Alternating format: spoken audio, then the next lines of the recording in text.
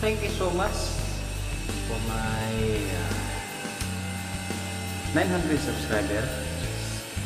Salamat po sa suporta.